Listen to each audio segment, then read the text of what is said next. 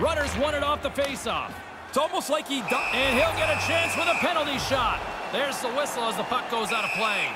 And it's go time.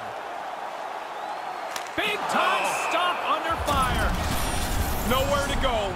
The puck's got no lane into the net. The goalie does an outstanding job. Here in the later stages of this period,